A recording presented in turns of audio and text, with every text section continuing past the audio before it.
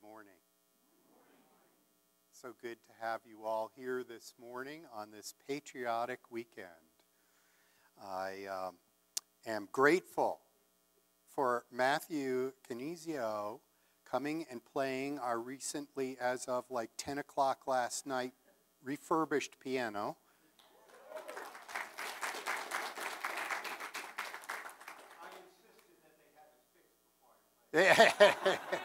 he says he insisted that it be fixed before he played. Now, we, uh, we had several people commenting on how aged and stiff the piano was becoming. And so we hope this is getting it a little bit closer to playable for uh, many different artists. So that's very good. Thank you, Matthew, for filling in and uh, doing the lovely music that you've chosen for today.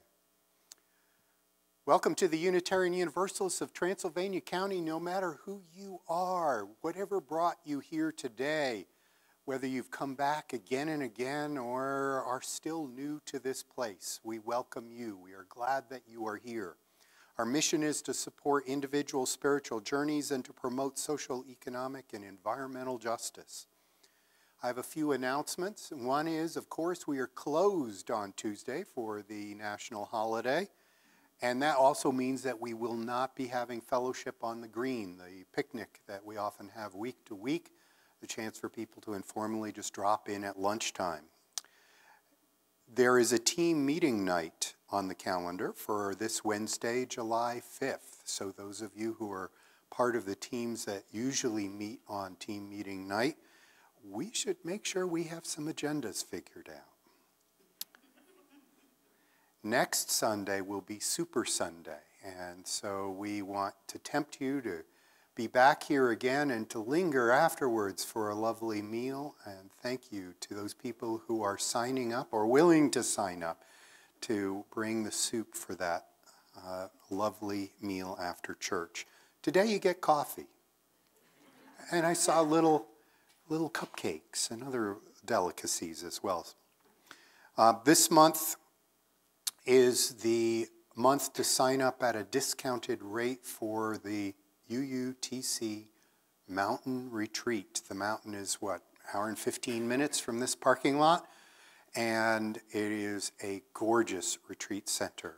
Uh, this is one of the views from the Meditation Rock. And uh, we hope that those of you who went last year will keep talking up how good it was to be part of the circle that attended. Our worship service the second weekend of September will be from the mountain. So if you realize this is where we'll be, uh, please sign up this month.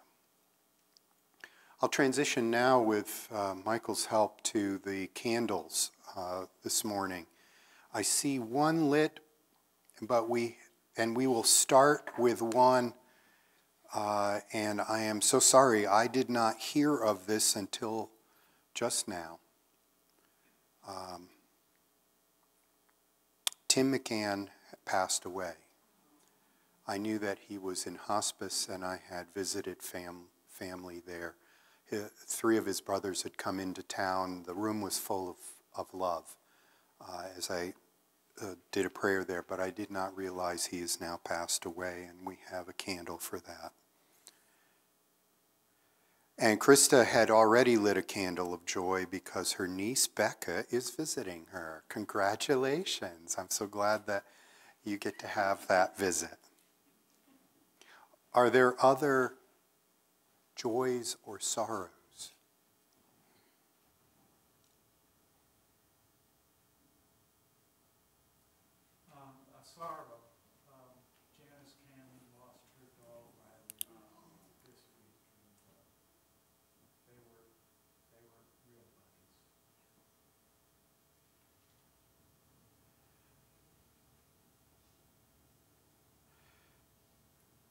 For those of you who didn't hear, John says that the candle of sorrows for Janice Cannon, who lost her dog Riley.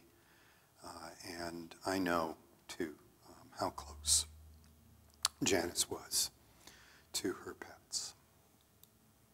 Other sorrows or joys? I'm going to start with Roberta and then move forward.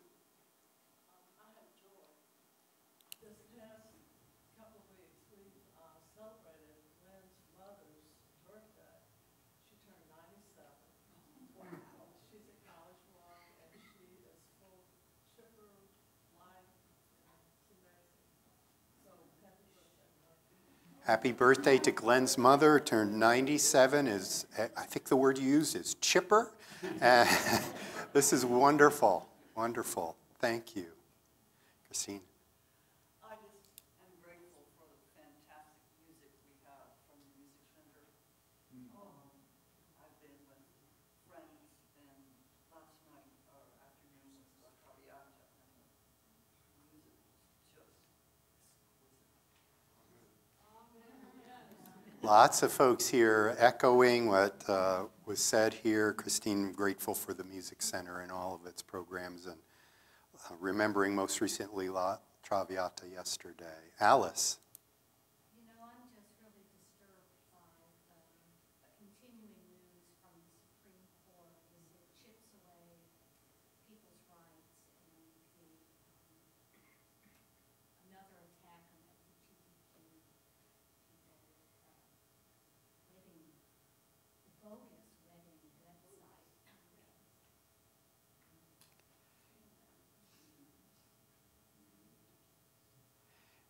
Alice is uh, having a candle uh, due to being disturbed by the Supreme Court rulings, especially the bogus wedding website discussion that just occurred, which leaves our LGBTQ folks in fear. yeah. Jean. A candle of thanks for Alice Wellborn. Well done, and you're done.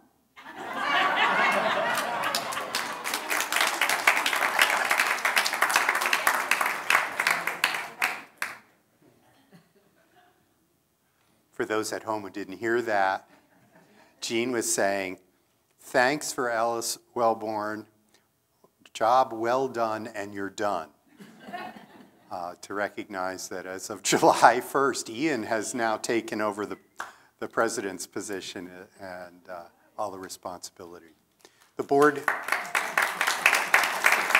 I, I do want to say the board last night had a wonderful, uh, it was to be an outdoor picnic. The weather changed too quickly for that. Um, we had a wonderful picnic and a uh, tribute to all of those who were rotating off the board. Thank you to all who stepped forward to serve this congregation. And for those who are coming on and just starting new in your positions, thank you as well. Donna. I'd like to thank all of you uh, through the years for your support for the Dignity Project. Uh, Volunteering at Sharing House, I can tell you how valuable these contributions are and how grateful our neighbors are for your support and your concern. And where was it that you were volunteering, Donna? Sharing, Sharing House. Yeah, and um, I'll say more at the, at the, the time of our collection, but uh, uh, Donna is grateful for all who have contributed to the Dignity Project, all of our partnerships in the community with the various nonprofit ser- service agencies, and in your case, Donna mentioning the Sharing House, um, the feedback that people give for what we do our Dignity Project in the community. Thank you, Donna, for lifting that up. With all of these, th- oh, Roberta, you have another. Yeah. Um, another joy, the uh, AAUW book sale was very successful.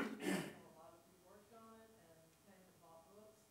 Uh, This year, we raised even more than usual. We raised thirty-four thousand dollars in a week.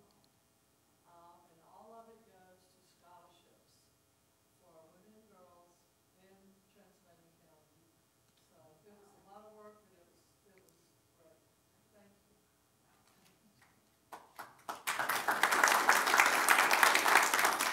So the people here are applauding those who volunteered, helped in the community for a wonderful fundraiser for women and girls scholarships. Um, 34,000 uh, raised from the AAUW book sale. And uh, we do, we do pitch in in this community. Thank you. We have a lovely tone. Susan.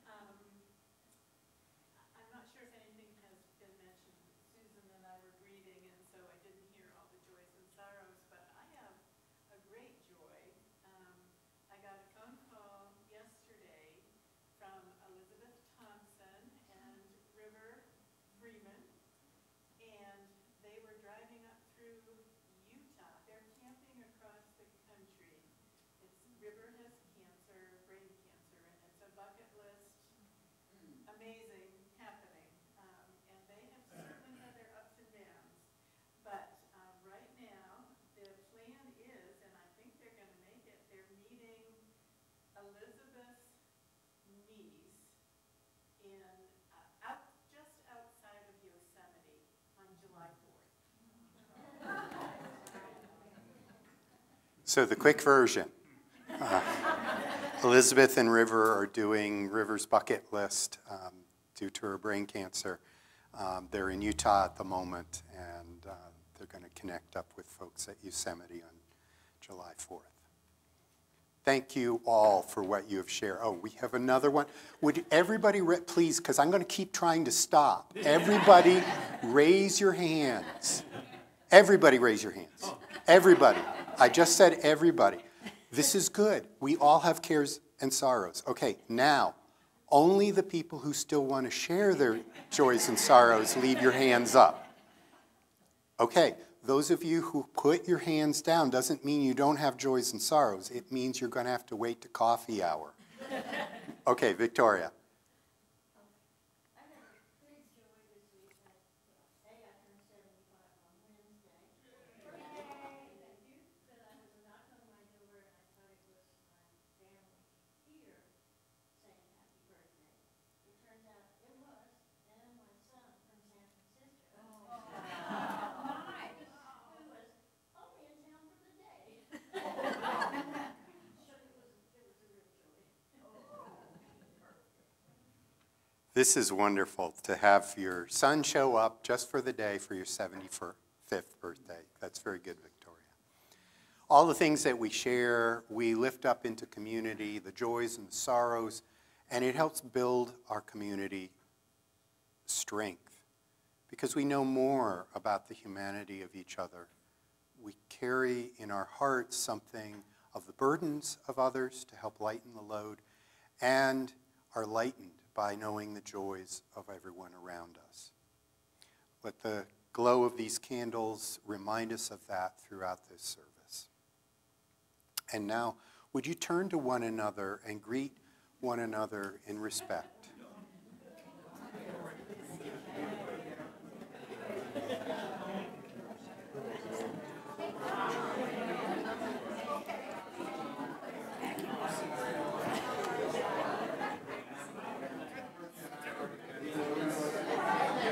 Now I've got another one.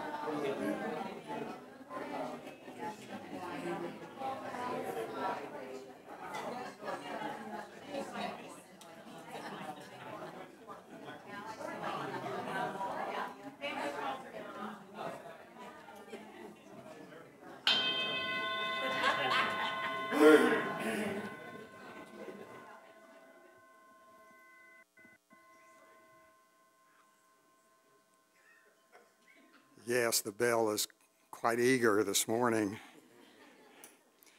Here are opening words from George Kimmich Beach. Giver of being and freedom, thou who touches our lives in unforeseen ways, who unsettles our ease, and who upsets our self satisfactions.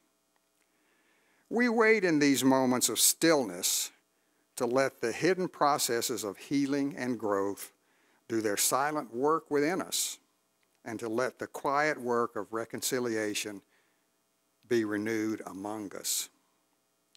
Because we know that the ultimate issues of life, healing and growth, reconciliation and renewal, cannot be forced neither by excess of activity nor tumult of words.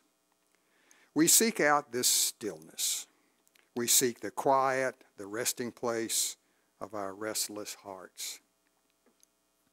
Because we live in mystery, we trust that which is deeper than we know, which touches our hearts, which steadies us and rekindles our spirits, which finally in faith may be named the love that has laid hold upon us and will not let us go.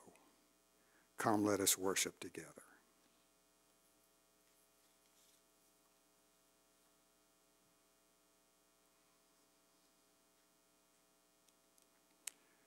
Now, the uh, opening hymn is number 153, Oh, I Woke Up This Morning, and the words are on the screen.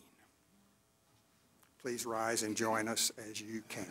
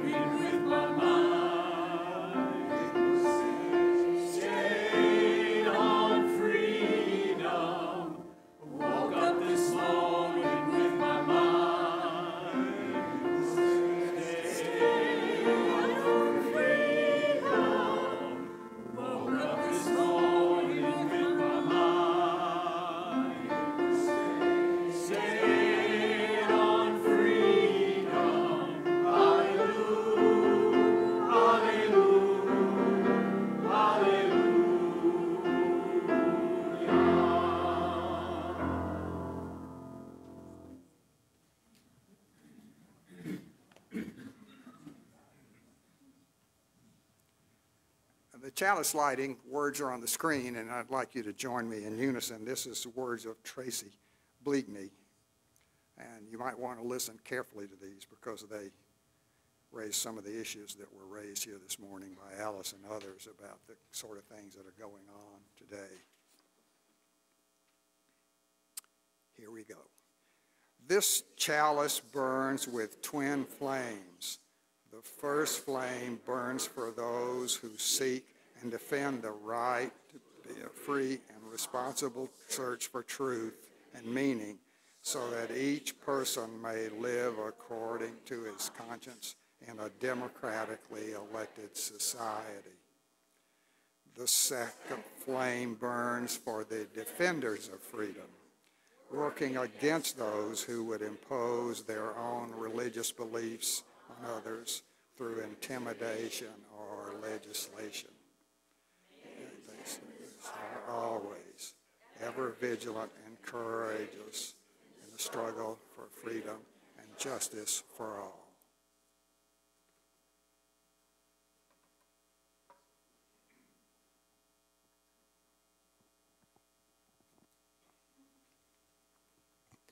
Good morning, everyone. I'm Kevin Lausch, and I get to work with the kids and youth here at UUTC. And while this morning we might be a little um, shy of those who are young, we have everyone who's young at heart. And that's good. Well, this morning I wanted to talk a little bit about flags. And as you might know, this flag, we're coming up on the 4th of July, I wanted to see um, who all knows a little bit of history of this flag? So first off, and you probably know this one easily, how many stars? 50 stars, that's right. How many stripes? 13 stripes, very good. And why 13? For the original 13 colonies, exactly. How many red and how many white stripes? Seven red, six white, exactly. And so the American flag originally had uh, 13 stars. Um, there are stars in a circle on a field of blue, being the circle meant everyone, all those colonies, was equal. We're going to come back to that equal part in a little while. And we also that had 13 stripes too, um, but they were just on one side. And the myth was Betsy Ross sewed the first flag, though from a little bit of reading, it seems that the ideas for the flag came from many different colonies, many different parts, and the original colonies all had their own flags, but this one was eventually adopted with the 13 stars in 1777. And um, the colors meant something very specific. Red meant for valor, bravery, on the field of battle over those eight years of the Revolutionary War. White meant for purity. And you have to think about that a little bit too, as in, was it the purity of our thoughts and beliefs, or was it the white, the purity of our skin and where people came from? And blue meant loyalty loyalty to the country, loyalty to the flag, and loyalty to the beliefs of independence and freedom but independence and freedom only for a certain few.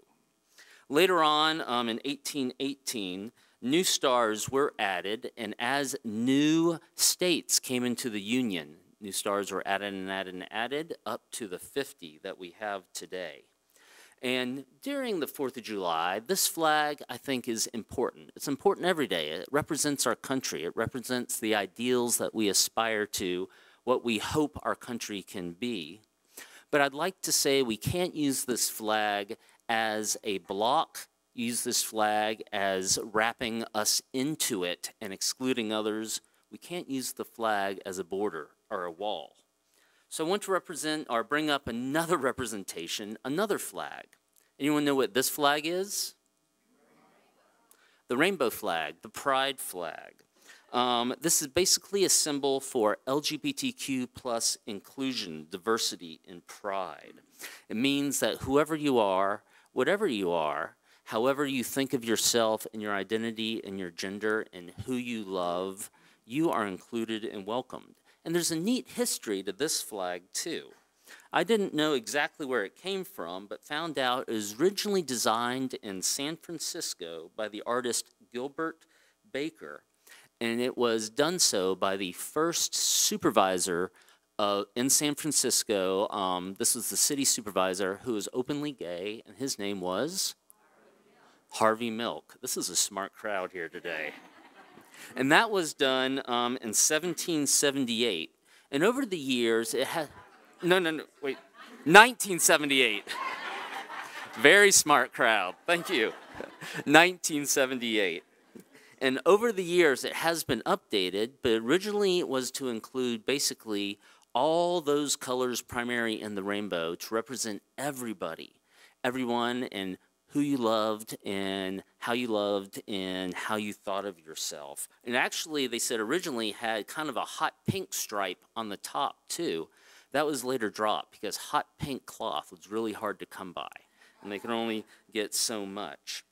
Um, and years later, it got to be included and updated a little bit more. And this originally, I think, came about in 2017 and 18 including the rainbow colors of equal on the sides here, and then these chevrons were included, including chevrons for people black and brown skin who are often marginalized and excluded and were treated so badly in our society, including like a white, a pink, and a blue to include gender equality and gender diversity also.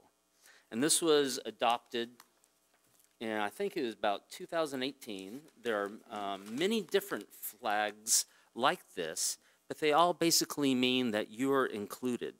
And the reason I bring up these two flags is I want to say they are not the same, but they're good and needed in our society in so many different ways there's some people out there who might want to use this flag more as like a bludgeon, a club, to say us, not you, to say we belong and they don't.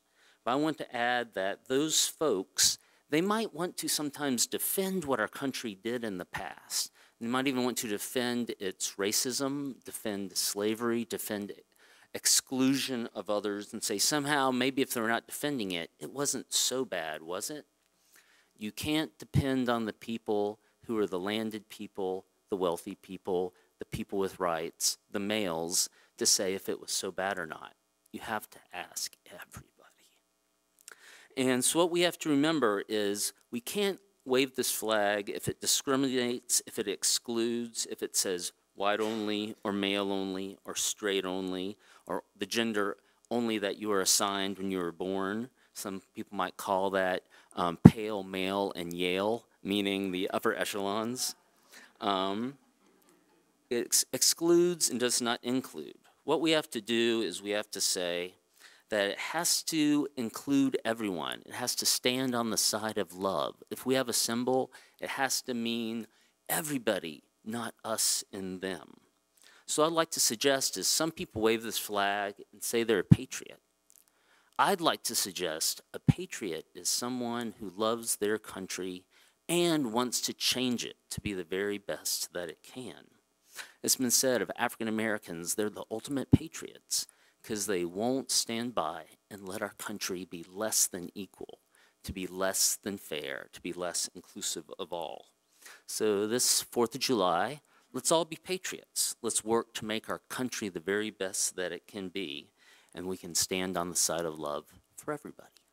Thanks.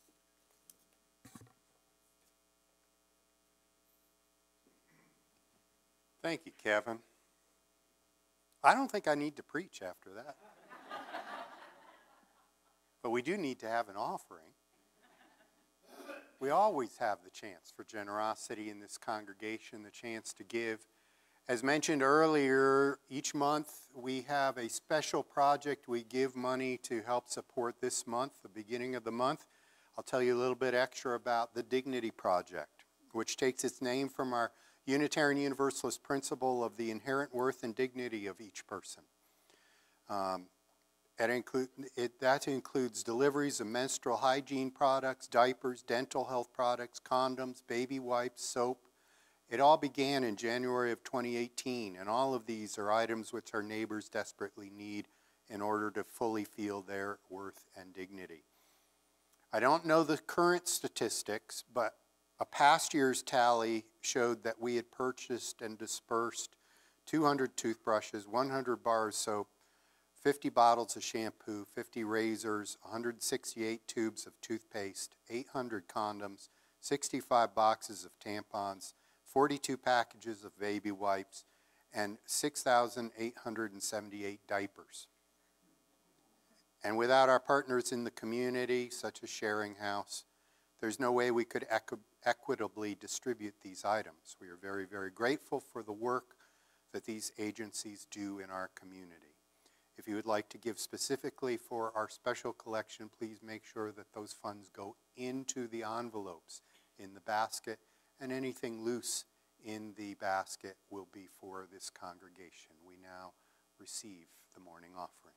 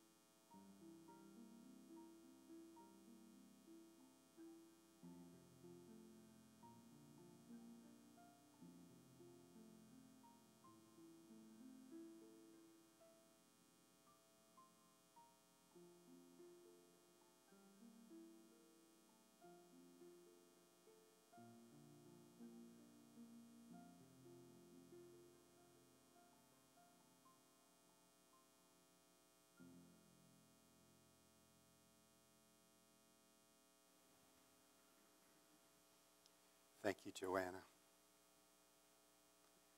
Thank you, Bonnie.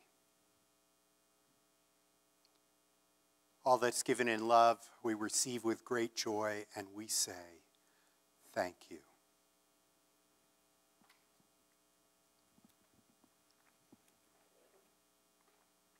I have a reading this morning which goes on forever. It was from a really great sermon from 1830 by William Ellery Channing, addressed to the governor, vice governor, and legislature in Massachusetts on election day. I skipped the first 12 pages of the sermon and now have found some excerpts from somewhere in the middle of this sermon. But those of you who have sometimes uh, noticed we have a reading in our hymn book that says, I call that mind free. Um, that is also a short excerpt from this grand, lengthy, convince the legislators to live up to their highest ideal sermon. I'm going to leave the language in the original, which means it's a very gendered way of talking about people. The one or two times when it isn't very gendered male is the times when you're seeing William Ellery Channing being able to transcend the language of his time. Free institutions contribute in no small degree to the freedom and force of mind by teaching the essential equality of men and their right and duty to govern themselves. And I cannot but consider the superiority of an elective government as consisting very much in the testimony which it bears to these ennobling truths. It's often been said that a good code of laws and not the form of government is what determines a people's happiness. But good laws, if not springing from the community, if imposed by a master, would lose much of their value. The best code is that which has its origin in the will of the people who obey it, which, while it speaks with authority, still recognizes self government as the primary right and duty of a rational being, and which thus cherishes in the individual, be his condition what it may, a just self respect. We may learn that the chief good and the most precious fruit of civil liberty is spiritual freedom and power by considering what is the chief evil of tyranny. I know that tyranny does evil by invading men's outward interests, by making property and life insecure, by robbing the laborer to pamper the noble and the king. But its worst influence is within. The chief cause, curse is that it breaks and tames the spirit, sinks man in his own eyes, takes away vigor of thought and action, and substitutes for conscience an outward rule, makes him an object, cowardly, a parasite, a cringing slave.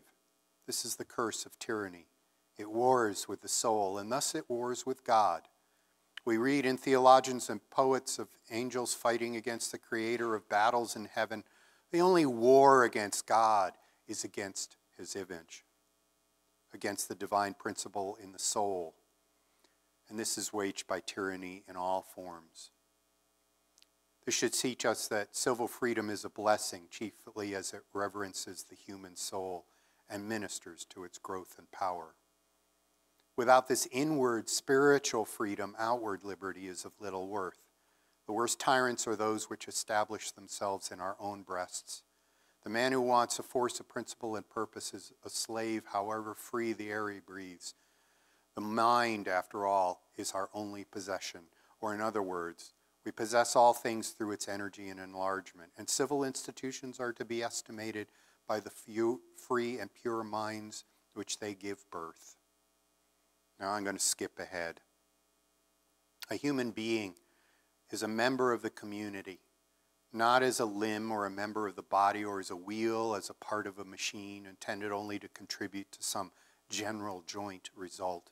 He was created not to be merged in the whole as a drop in the ocean or as a particle of sand on the seashore, and uh, to aid only in composing a mass. He is an ultimate being, made for his own perfection and his highest end, made to maintain an individual existence and to serve others only as far as consists with his own virtue and progress.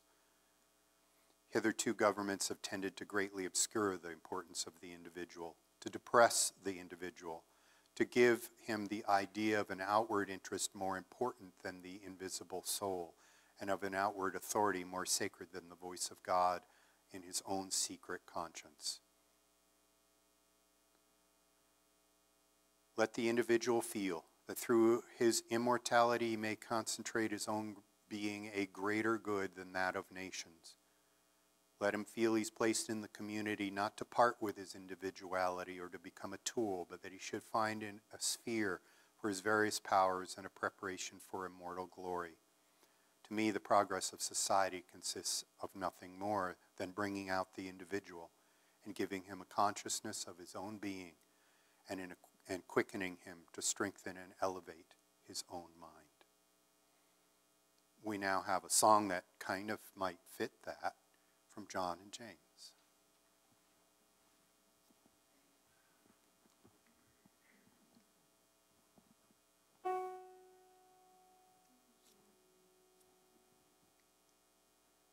We who believe in freedom cannot rest. We who believe in freedom cannot rest until it comes. We who believe in freedom cannot rest, cannot rest. We who believe in freedom cannot rest until it comes, until the killing of a black man, black mother's son, is as important as the killing of a white man. white mother's son. Don't you know that we who believe in freedom cannot rest? No, no, no. We who believe in freedom cannot rest until it comes. That which touches me most is that I had a chance to work with people, passing on to others that which was passed on to me. Don't you know that we who believe in freedom cannot rest? We cannot rest. We who believe in freedom cannot rest until it comes. Cannot rest until it comes. Oh, well, I learned as a child there are two ways to see the world as it is and the way it could be. Some people say that's just not my problem. Some people do what must be done. They see the hole in the fabric that must be so. They see the way blockaded and they roll back the stone. They see the day beyond the horizon and they do what must be done. Yes, some people do, do, do what must be done. Well, they do what must be done. They see the day beyond the horizon, and they do what must be done. Well, they see the hole in the fabric that must be sewn. They see the way and they roll back the stone.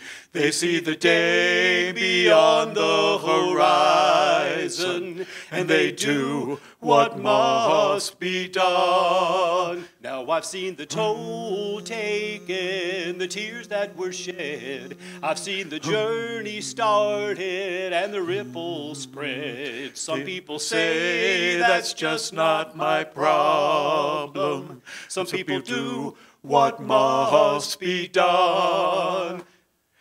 Hole in the fabric that must be so. They see the way blockaded and they roll back the stone.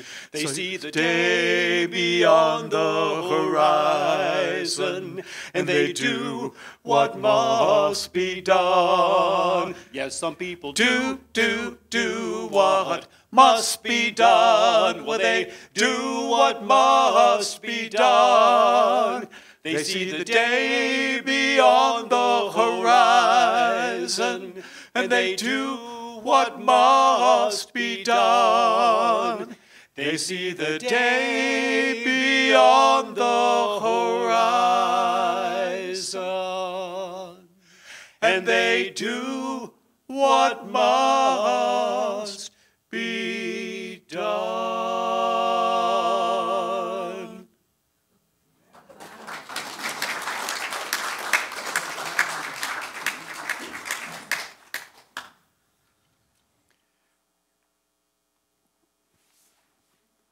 got to focus on my tie, not my jacket today. my brand new, based on Jerry Garcia's painting, tie with swooshes and stars and red, white, and blue. You got to focus on the fact that I'm wearing red, white, and you can't tell, but it's navy blue. Because I'm going to talk about independence because of religion. I'm going to make it quick because I know you're going to want to get your coffee and you're going to want your cupcakes. But I'm going to talk to you about some challenging things I've reflected on since the Supreme Court ruling. We've heard Kevin's presentation on different flags. We've heard John and James singing out loud. We've heard Matthew's playing in the background songs that talk us to us about the beauty from sea to sea of this place. And we heard Channing talking about tyranny. Henry Wilder Foote, a Unitarian Universalist known for his historic scholarship, talked about the Pilgrims as representing the extreme left wing of English Puritanism. Huh? These are the left wing people. They believed that church and state were separate realms, that their church rule, their civil ruler had no authority of spiritual affairs, and that every true visible church is joined together by voluntary profession of the faith, and that every church has power to cause to take unto themselves meet and sufficient pers- persons in the offices and functions of pastors, teachers, elders, and deacons. They were very anti hieretical. It wasn't up to the king or the magistrates to determine what was going on. When they came to these shores, they set up a government that was not based on who was landed gentry, who were inherited lords. They instead said, no, we're going to open this up more broadly. We're going to expand the franchise in our churches and therefore in our governments.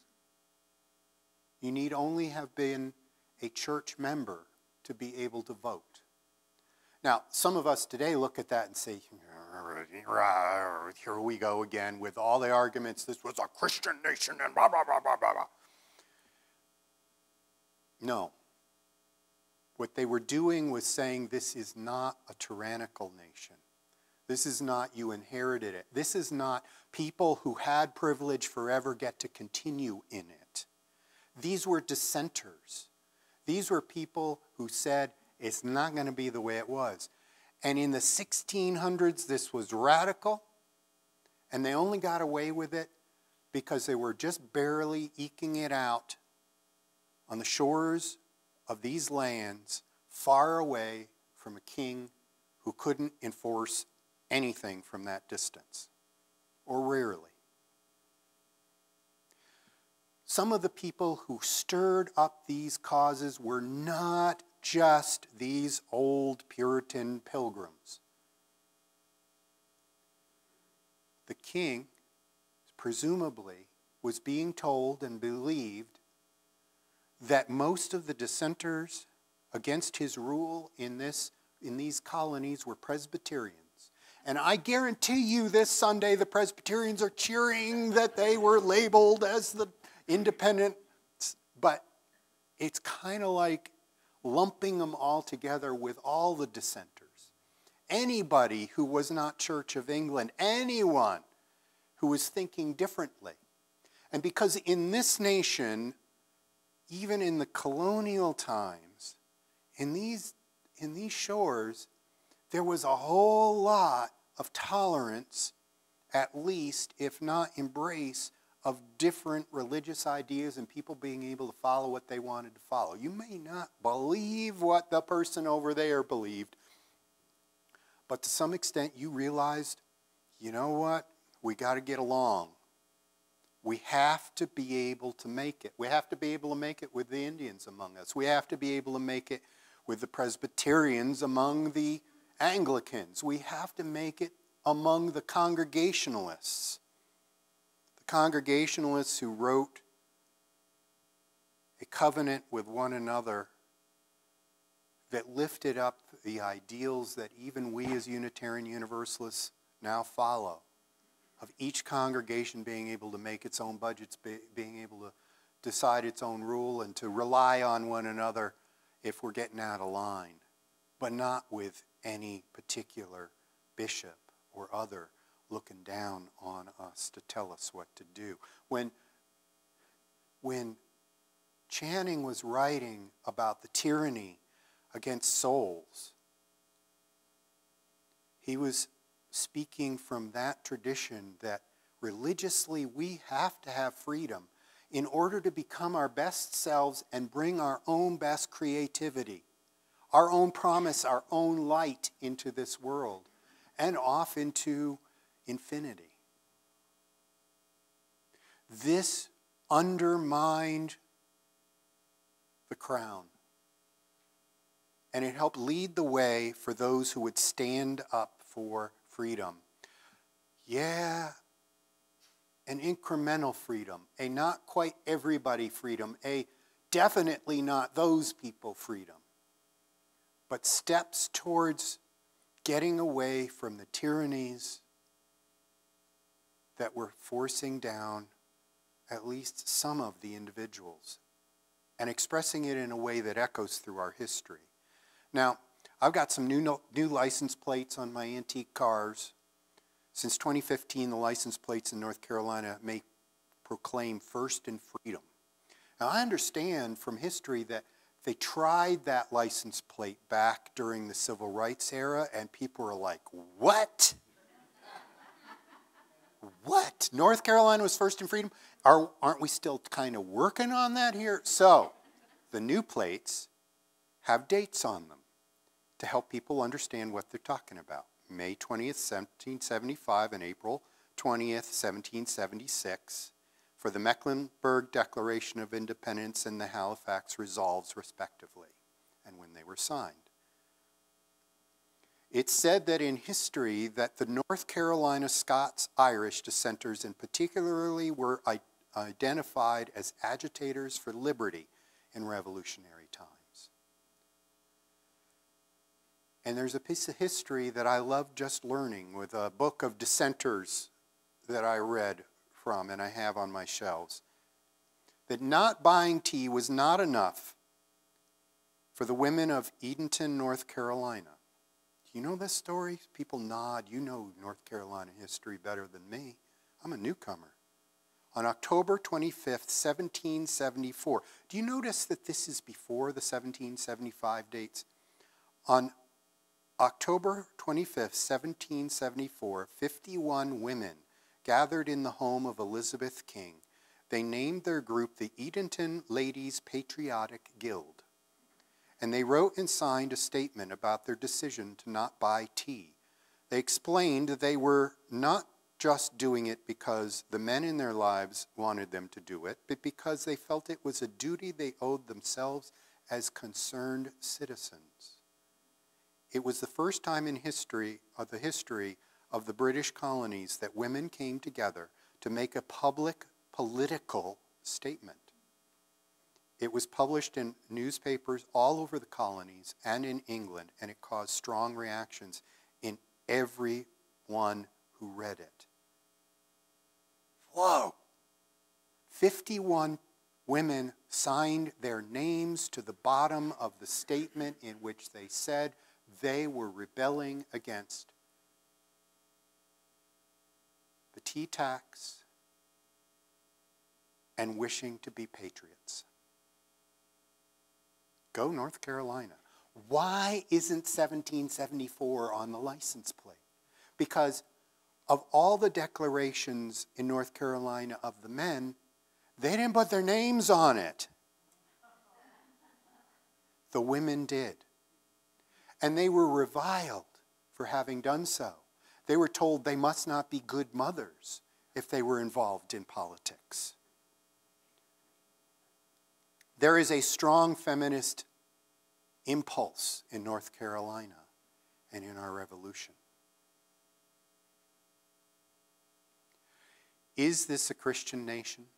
Well, those ladies were members of the Anglican Church. In fact, the wife of the Anglican priest was one of the signers. The men, when they voted in new deacons, then also voted on various patriotic things right there in, in the vestry. People were grounded in their religion in ways that, as a counselor to the king reported back, they may be officially on the books as members of the Anglican Church, but they are no Anglicans. George Washington, in speaking to the Jewish people in Newport, Rhode Island in 1797, said, All possess alike liberty of conscience and immunities of citizenship. It's now no more that, than toleration, no more that toleration is spoken of as if it was by some indulgence of one class of people that another enjoyed the exercise of their inherent natural rights. For happily, the government of the United States, which gives bigotry no sanction, to persecution no assistance, requires only that they who live under its protection should demean themselves as good citizens, in giving it on all occasions their effectual support. The United States, which gives bigotry no sanction, persecution no assistance. In the story of the flags, I wonder if we could have George Washington quoted again and again and again. Later in 1797, President John Adams, a Unitarian, signed the Treaty of Tripoli, which had been unanimously approved by the U.S. Senate uh, on June 7th of 1797. It secured commercial shipping rights. Basically, they were afraid of the Barbary pirates. And so they negotiated with Muslims in what was then known as, before it was known as Libya, the area back then. And this is the quote of Article 11. As the government of the United States of America is not, in any sense, founded on the Christian religion, as it has in itself no character of enmity against the laws, religion, or tranquility of Mussulmen, uh, that would have been Muslims, and as the said states never entered into any war or act of hostility against any Mahometan nation, that is, followers of Muhammad, it is declared by the parties that no pretext arising from religious opinion shall ever produce an interruption of the harmony existing between the two countries. You've probably heard that a lot of times too, as people say this was a Christian nation To some of the founders of our nations, they were all good Christians, except, of course, the Unitarians, who kind of like were like beginning presidents of the nation and signed those documents. And Unitarians and a Universalist signed the Declaration of Independence. And yeah, we won't. We won't talk about that so much in Transylvania County, will we? Benjamin Franklin in an excerpt before signing the Constitution, also spoke up and said, You know, our Constitution isn't going to be perfect, and anything built by men. I'm going to leave the word men in there for those of you who hate that it's always gendered, but in this case, we'll blame the men as being imperfect with all their prejudices, their passions, their errors of opinion, their local interests, and their selfish views. That's what Franklin said. From such an assembly, can a perfect production be expected? No. But he was trying to get people to vote for the Constitution anyway. And Rhode Island held it up. Wouldn't come to the Constitutional Convention, would not ratify the Constitution until we got our Bill of Rights as well. Because they wanted freedom. And all those Baptists that escaped persecution in Massachusetts and fled to Rhode Island wanted it guaranteed. And those Jewish people in Rhode Island wanted it guaranteed. And the Quakers who had been executed in the colonies wanted it guaranteed. And everybody wanted it guaranteed the freedom of religion. Consistent with the First Amendment, the nation's answer is tolerance, not coercion. The First Amendment envisions the United States as a rich and complex place where all persons are free to think and speak as they wish, not as the government demands. That's from the closing of, uh, opinions of the Supreme Court, written by Justice Gorsuch.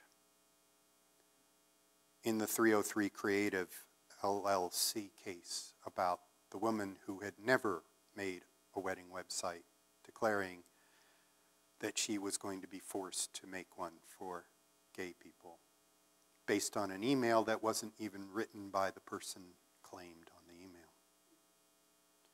The Supreme Court reached into a, what I think, just my own humble self, was a, a case with no standing to lift up something that was echoed in Channing and in some of the others here that the state cannot impose a tyranny on people on their free speech. I don't like the trend that's happening against LGBTQ rights, and I know that the organization who helped sponsored that case to go before the Supreme Court has very, very different opinions about who should have rights and what values should be upheld in this country than I do, than I think we do. But one of the things that I read in this statement was one, all those people who argue for state rights, Gorsuch said, you, you can't go against the Constitution. A state can't go against the Constitution. And believe me, it's being argued out there that states can go against the Constitution. And I'm glad that it got ruled that you can't do that. Gorsuch was saying, you can't take away somebody's free speech or their religious impulse. And that's what Channing was saying. You can't do that. So, in some ways, I think hidden as a gem in the Supreme Court ruling, we may, in fact, have some freedom.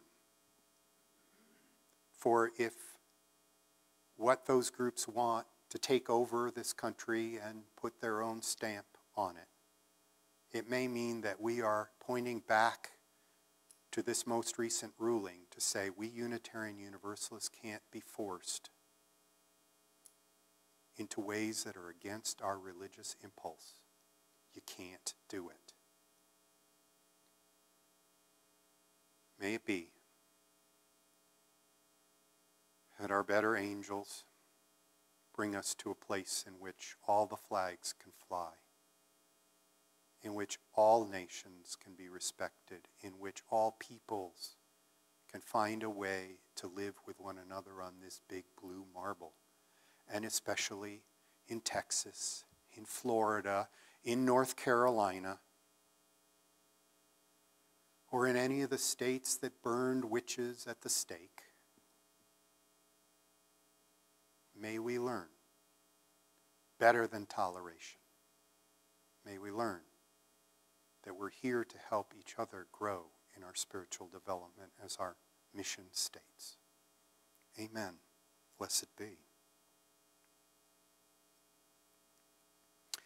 Our final hymn is number 287, Faith of the Larger Liberty. Please rise and join as you're willing and able.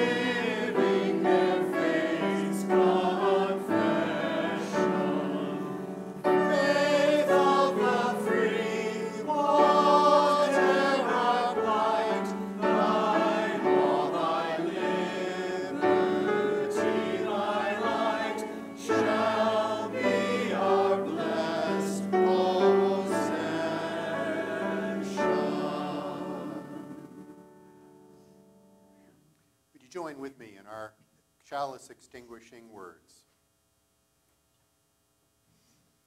We extinguish this chalice flame, daring to carry forward the vision of this free faith, that freedom, reason, and justice will one day prevail in this nation and across this earth. Blessings to all of you. May you enjoy your Independence Day and may you come back again in love to this place. Amen. When